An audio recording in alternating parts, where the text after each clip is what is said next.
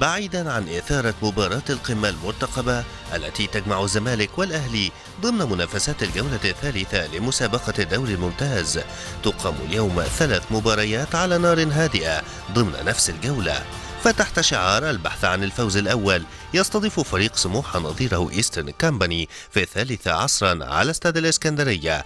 بعد أن تعادل الفريق السكندري في أول جولتين مع الاتحاد السكندري والمصري. ويأمل أحمد سامي في استغلال ميزة اللاعبين بملعبه وفارق الإمكانيات لتحقيق انتصاره الأول. ويعيد للأذهان ذكريات الأداء المميز للفريق في الموسم الماضي. في مواجهة اليوم أمام الفريق الصاعد حديثا للدوري الممتاز الذي يبحث هو الآخر عن أول فوز عقب خسارته في أول جولتين أمام المقاولون العرب وغزل المحلة لا سيما بعد اقتراب حل أزمة المحترفين للفريق في انتقالات يناير المقبلة. وفي الخامسة والنصف مساء.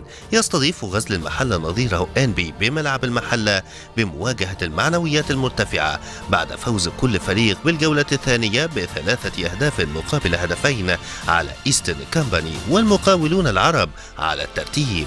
وستكون مواجهة اليوم ساخنة من خارج الخطوط بين عنصر الشباب المتمثل في محمد عودة المدير الفني للفلاحين وصاحب الخبرات الكبيرة حلمي طولان المدير الفني للفريق البترولي في مباراة لن تكون سهلة لأي من طرفيها.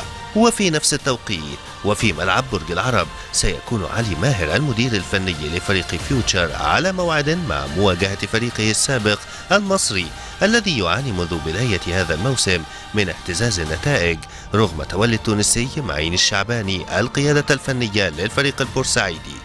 الذي تعادل في أول جولتين مع غزل المحلة وسموحة فيما فاز فيوتشر على فاركو وخسر من الاتحاد السكندري ويبحث عن فوزه الثاني بالمسابقة مستغلا حالة عدم الاستقرار التي يعاني منها المصري. فترى ماذا تسفر عنه تلك المواجهات؟